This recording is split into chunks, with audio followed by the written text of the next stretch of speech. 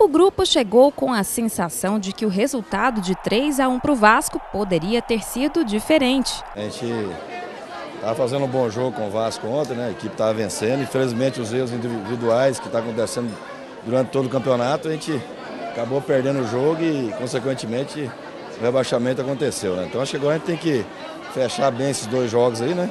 Principalmente em casa contra o ABC, buscar essa vitória e depois encerrar contra a portuguesa lá com dignidade, eu acho que é o mais importante agora nesse momento. E qual é a motivação para continuar entrando em campo, mesmo rebaixado? Dignamente, cada um tem o seu nome a zelar.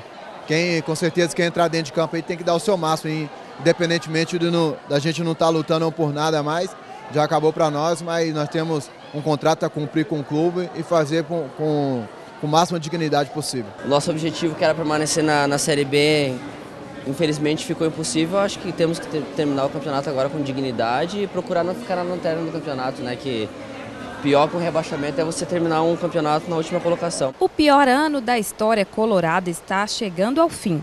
Alguns jogadores não querem pensar ainda no futuro. Ainda não, não é o caso ainda de, de pensar, né, terminar esse contrato aí que a gente tem em vigência com o clube.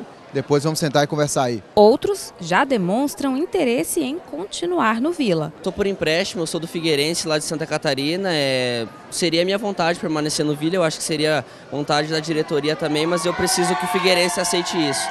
Então tem que ter um acordo entre as duas equipes, mas se depender de mim, eu gostaria de continuar no Vila sim.